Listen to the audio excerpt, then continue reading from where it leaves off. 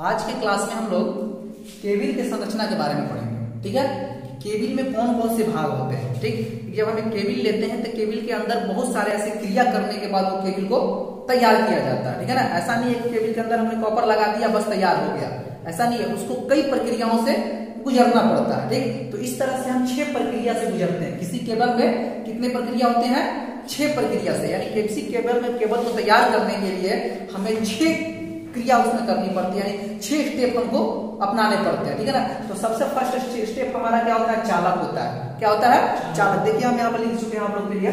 सबसे first step जो हमारा होता है, क्या होता है? चालक होता है। ठीक से कॉपर या एल्यूमिनियम की बनी होती है। उसके बाद हमारा क्या होता है? वार्निश अचालक आवरण होता है। क्या होता है? अचालक आवरण होता है। उसके बाद हमारा क्या होता है? थर्ड स्टेप में क्या होता है?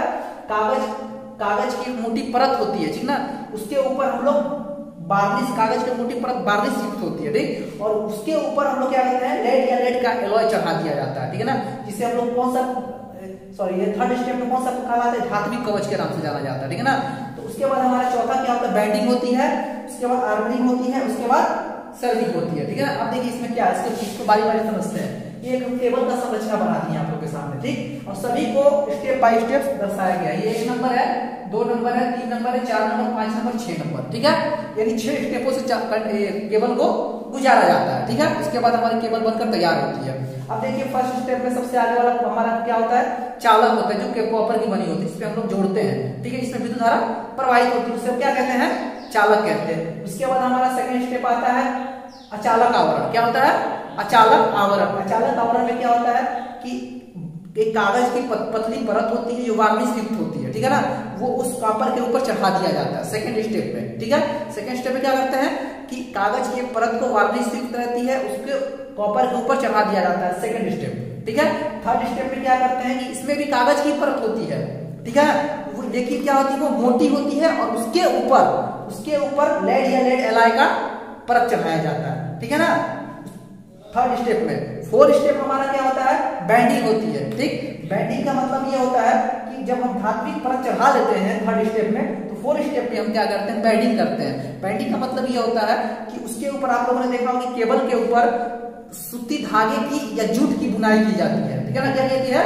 सूती धागे की या जूट। जूट देखे ना, जूट की बुनाई की जाती है ताकि इसके अंदर वाले भाग को सुरक्षा प्रदान किया जा सके। ठीक है? तो सूती धागे की जो बुनाई की जाती है, जूट की परत चढ़ाई जाती है, उसे हम क्या कहते हैं? बैंडिंग के नाम से जानते हैं। बैंडिंग के ऊपर आर्मरिंग की जाती है। क्या की जाती है?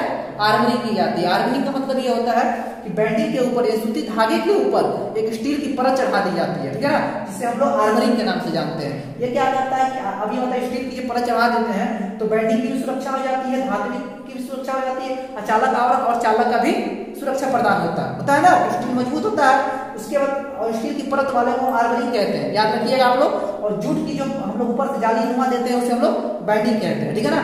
उसके बाद लास्ट स्टेप आर्मरिंग के बाद हमारा सर्विंग आता है। क्या आता है? सर्विंग आता है। सर्विंग में हम लोग क्या करते हैं कि आर्मरिंग के ऊपर फाइबर युक्त अचालक आवरण चढ़ा दिया जाता है। क्या करते हैं?